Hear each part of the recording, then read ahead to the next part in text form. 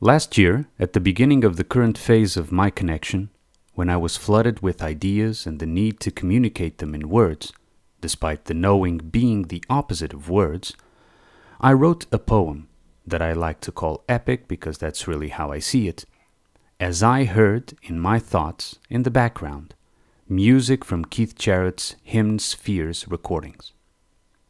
After I had finished writing the poem, around the summertime of 2018, I felt I should make a recording for my own private contemplation, and so I did, with the help of my girlfriend and another friend I can trust. The result was a 45 minutes, uh, more or less, audio interpretation of that poem, with sound effects and, of course, the exact music that had inspired it. I didn't want to make it public at all. Yet recently, my girlfriend convinced me that it might be helpful to others and that I should publish it, for free, of course. So she began translating subtitles for the recording, and the result is what I now present to you.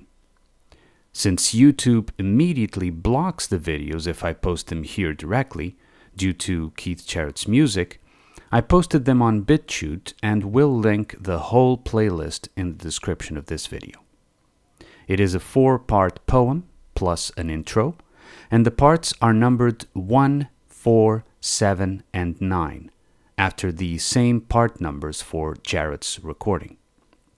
You don't have to create a BitChute account, so comment freely on this video's comment section if you so wish it. I hope it's useful.